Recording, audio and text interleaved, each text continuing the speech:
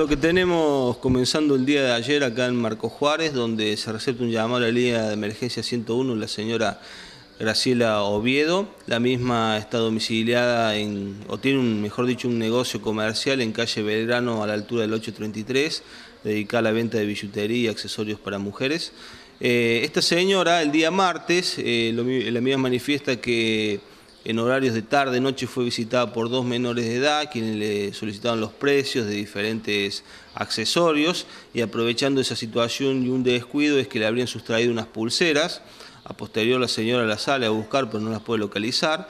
Bueno, nuevamente ayer a la mañana se le hacen presente en su comercio nuevamente estas dos menores con esta situación, preguntando precios de diferentes accesorios, eh, hacía que se le caían los anillos y las pulseras al piso. Llama a la línea de emergencia 101, estas menores son trasladadas acá a sede policial a disposición del juez de control de menores y falta, Marco Juárez, el doctor Trigo, ya que hay una iniciación de oficio por esta situación y estamos tratando de esclarecer eh, lo que ha ocurrido y ubicar dónde se encuentran estas pulseras o si han sido las menores las que la han sustraído. Bien, ¿hay filmaciones? ¿Tienen cámara interna el negocio?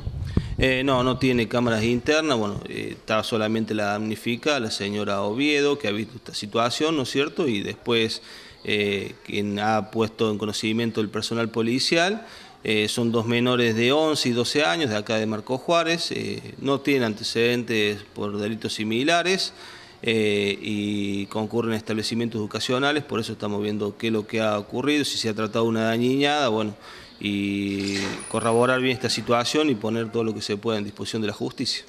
Bien, ¿qué más tenemos? Después, otra novedad que tenemos en Leones, en donde radica denuncia el señor Alejandro Peretti, el mismo está domiciliado en calle San José, el 521 de esa ciudad, eh, es comerciante. En el día de ayer, entre las 20 y 20 horas y las 21 y 20 es que se ausenta a su domicilio y es ahí que, bueno, dejándolo con todas las medidas de seguridad, en ese lapso, autor, autores ignorados han ingresado al domicilio previo a violentar una reja que comunica a una ventana eh, y comunica el patio con, el interior del domicilio, ingresan al dormitorio y del ropero le sustraen una suma aproximada de los 4 mil pesos y también le llevan del living lo que es una Norwood marca Lenovo de 14 pulgadas. Eh, bueno, se está realizando toda la tarea investigativa por parte de lo que es el personal de inteligencia criminal de Leones a los fines de ubicar dónde se encuentran estos elementos y la identidad de los autores. Y también, ¿no es cierto?, se están eh, reconstruyendo testimonios de personas cercanas al lugar que hayan podido ver alguna persona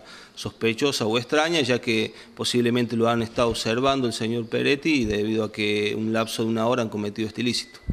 Bien, ¿algo más, este, Cristian? Eh, lo último que tenemos, Miguel, es esta mañana a las 07.55 horas con un accidente de tránsito acá en Marco Juárez, en la intersección de Circunvalación Oeste y Calle Santa Fe, ingresando al Parque Industrial